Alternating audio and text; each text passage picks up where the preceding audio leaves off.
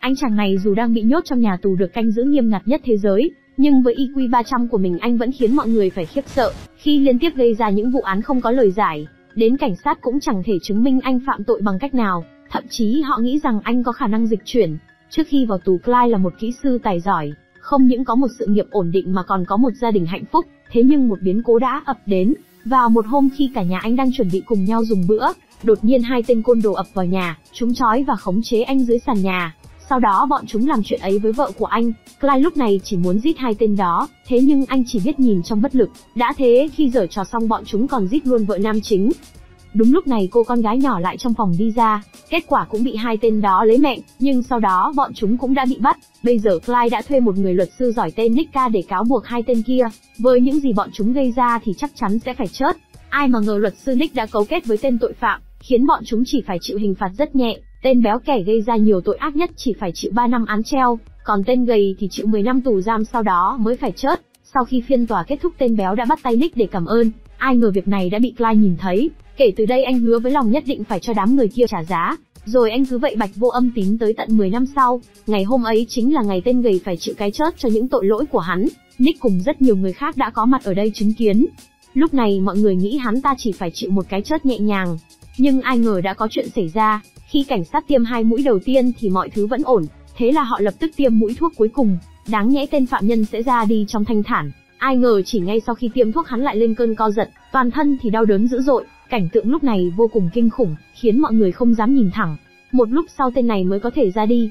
Sau khi kiểm tra cảnh sát mới phát hiện ra, lọ thuốc thứ ba đã bị ai đó đánh cháo thành thuốc độc. Đấy cũng là lý do tại sao tên phạm nhân có phản ứng dữ dội như vậy. Người làm ra việc này còn để lại dòng chữ mày không thể chống lại số phận đâu. Đến đây Nick lập tức nghĩ ra một người, không ai khác chính là tên mập năm xưa, cảnh sát ngay lập tức đi tìm tên đó. Lúc này tên mập vẫn đang ngồi ở nhà và chưa biết chuyện gì. Đột nhiên hắn nhận được một cuộc điện thoại báo cảnh sát đang đến, khiến hắn vội vàng tính bỏ chạy, nhưng cảnh sát đã bao vây kín bên ngoài. Lúc này người bí ẩn trong điện thoại mới hướng dẫn hắn ta đường chạy, khi hắn ta đến địa điểm chỉ định thế mà lại là một chiếc xe cảnh sát, tuy nhiên tên béo không hề sợ hãi, mà đã dùng súng uy hiếp và cướp luôn chiếc xe đó. Không lâu sau hắn tới được một chân cầu mới dừng lại, tên này sau đó định lấy mạng luôn người cảnh sát, nhưng anh ta không ngờ cảnh sát ấy chính là người bí ẩn, mà người đó không ai khác chính là Clyde. Thấy anh hắn vội bóp cò, tuy nhiên lại chẳng có viên đạn nào được bắn ra, bởi khẩu súng ấy đã bị nam chính chế tạo thành cái bẫy có độc, tên béo vì thế đã trúng chất độc làm tê liệt thần kinh, khiến hắn hoàn toàn không thể cử động. Lúc này Clyde mới đưa hắn tới chỗ căn cứ của anh, đó là một căn nhà kho bỏ hoang, ở đây tên béo bị trói chặt trên giường, và nam chính bắt đầu kế hoạch trả thù của mình. Anh không muốn một kẻ đã giết vợ con anh lại được chết một cách dễ dàng, cứ vậy khiến hắn phải chịu đau đớn qua những màn tra tấn của mình. Toàn bộ quá trình cũng được anh quay lại, đợi đến khi cảnh sát tìm được nơi này, thì tên béo đã mất mẹ, hiện trường cũng vô cùng kinh khủng, khiến ai nhìn vào cũng cảm thấy buồn nôn. Cảnh sát nghi ngờ đây là một vụ trả thù, mà người gây ra việc đó chính là Clyde, thế là họ lập tức đến để bắt anh. Tuy biết là sẽ bị bắt nhưng nam chính vẫn rất bình tĩnh không hề chạy trốn. Khi bị dẫn ra ngoài anh đã nhìn chằm chằm vào Nick, làm anh ta cũng phải cảm thấy bất an, trở về đồn anh bị tra khảo. Anh không trực tiếp nhận tội, mà nói với Nick có thể thực hiện một giao dịch, chỉ cần cảnh sát cho anh một chiếc đệm ngủ anh sẽ nhận tội. Tuy nhiên Nick lại từ chối vì không ai thỏa thuận với phạm nhân cả, và thế là Clyde đã cho tên luật sư này nếm mùi đau khổ. Ở nhà con gái Nick bất ngờ nhận được một kiện hàng, bên trong chỉ có một chiếc đĩa CD, cứ nghĩ rằng đó chỉ là một cuộn băng thông thường lên cô nhóc đã mở nó lên xem, ở bên trong chính là đoạn phim nam chính xử lý tên béo. Quá sợ hãi mà vợ Nick đã gọi điện cho chồng và kể lại mọi chuyện, nghe thấy tiếng khóc của vợ con anh luật sư biết đây không phải chuyện đùa, thế là lập tức chuẩn bị cho nam chính một chiếc đệm êm ái. Nhưng đây cũng chỉ mới là bắt đầu, nam chính sau đó đã thú nhận đã giết hai tên kia, điều đó làm Nick vô cùng vui mừng, vì một khi hung thủ nhận tội thì có thể khép lại vụ án này. Ai ngờ lúc này Clyde lại đưa ra yêu cầu khác, đó là chuẩn bị cho anh một bữa ăn thịnh soạn bao gồm pizza và bít tết. Ấy vậy mà Nick lại dám từ chối. Anh ta nghĩ rằng việc nam chính nhận tội thì đồng nghĩa mọi chuyện đã chấm dứt. Một kẻ đang bị giam trong tù không thể làm được gì. Nhưng nam chính đã bảo nếu không thực hiện sẽ có người chết. Biết rằng Clyde không hề nói đùa, nên Nick lập tức bảo người đi chuẩn bị đồ ăn. Tuy nhiên đồ ăn vẫn bị đưa tới muộn. Thấy đồ ăn nam chính cũng cho cảnh sát biết một tọa độ.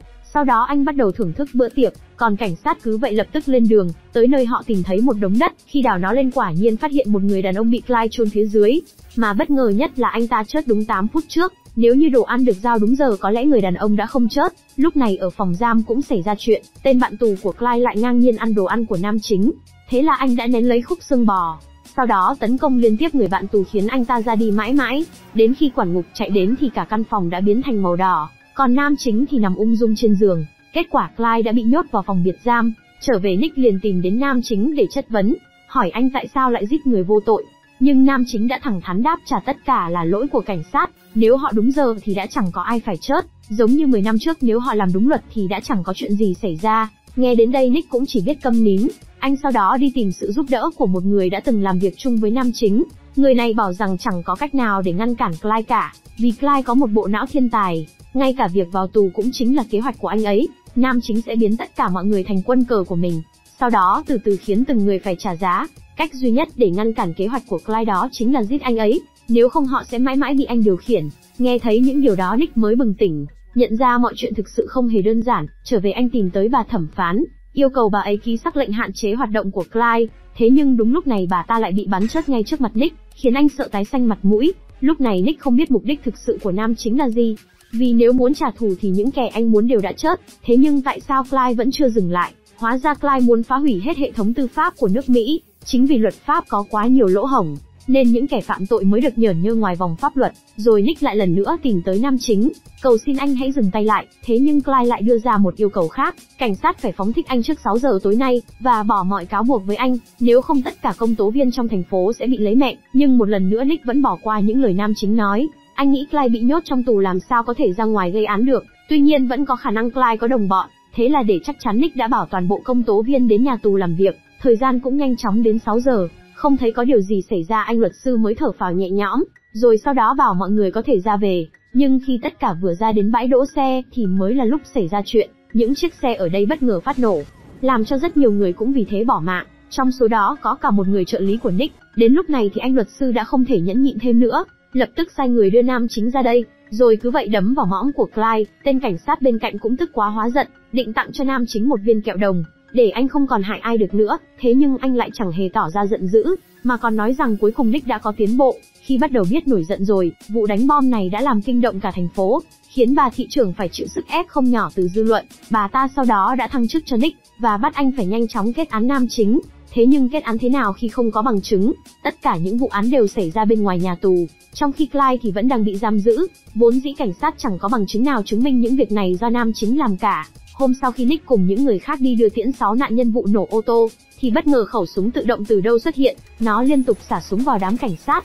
Mọi thứ gần như bị san phẳng trước màn mưa bom bão đạn, thương vong cũng chẳng thể kể hết. Đến lúc này Clyde đã trở thành kẻ thù của toàn thành phố. Lệnh giới nghiêm cũng ngay sau đó được ban bố, để tránh những vụ việc tương tự xảy ra. Cùng lúc đó Nick cũng vùi đầu vào tìm manh mối, xem liệu rằng có phải Clyde có đồng phạm bên ngoài hay không, để rồi sau đó anh tìm thấy một thông tin quan trọng. Trong 10 năm qua Clyde mua rất nhiều đồ, những món đồ ấy đều được gửi tới một địa điểm cố định gần nhà tù, thế là anh cùng những người khác lập tức lên đường kiểm tra, quả nhiên đã tìm thấy căn cứ bí mật của nam chính. Ở đây họ phát hiện một đường hầm thông với nhà tù, hóa ra trong 10 năm bạch vô âm tính Clyde đã đào căn hầm này, bên trong còn có rất nhiều vũ khí, ngoài ra có cả bản đồ nhà tù. Bảo sao Clyde ở trong phòng giam mà vẫn có thể gây án, lúc này Nick mới vội vàng quay lại nhà tù kiểm tra, nhưng khi lật chăn ra thì mới biết nam chính đã biến mất, hóa ra anh đã cải trang thành một nhân viên vệ sinh, thành công đột nhập vào tòa thị chính, sau đó đặt một quả bom tự chế trong này, với ý định cho toàn bộ quan chức chính phủ đi làm bạn với run đất. Nhưng kế hoạch đó đã bị Nick biết được, khi anh đọc bản kế hoạch của nam chính ở trong hầm. Thế là Nick cũng lập tức tìm tới tòa thị chính. Ở đây các quan chức cấp cao cũng đang tổ chức một cuộc họp. Nick kiểm tra camera đã phát hiện ra một chiếc vali kỳ lạ, mở nó ra xem quả nhiên bên trong là một quả bom. Thế nhưng đây là bom kíp nổ được kết nối với điện thoại, bây giờ chỉ cần có cuộc gọi đến là nó sẽ phát nổ. Chính vì thế mà không có cách nào để gỡ quả bom đó cả. Trong khi đó Clyde sau khi đặt bom đã trở về căn cứ của mình, anh nhanh chóng thay đồ để quay lại phòng giam, nhưng khi vừa từ đường hầm bước ra, Clyde bất ngờ khi đã thấy Nick đợi sẵn trong phòng. Tên luật sư lúc này chỉ đành xuống nước, thừa nhận bản thân đã mắc sai lầm, nhưng những kẻ gây tội ác cũng đã phải đền mạng, vì thế mong anh có thể dừng tay lại, ai ngờ nam chính chỉ lạnh lùng đáp trả. Mọi thứ đã quá muộn rồi, sau đó anh bấm gọi điện thoại để kích nổ quả bom. Thấy vậy Nick cũng chỉ đành bước ra và khóa chặt căn phòng, cánh cửa đường hầm cũng được cảnh sát đóng kín. Đến lúc này Clyde mới nhận ra vấn đề, vì không gỡ được quả bom nên Nick đã mang nó giấu trong căn phòng của nam chính.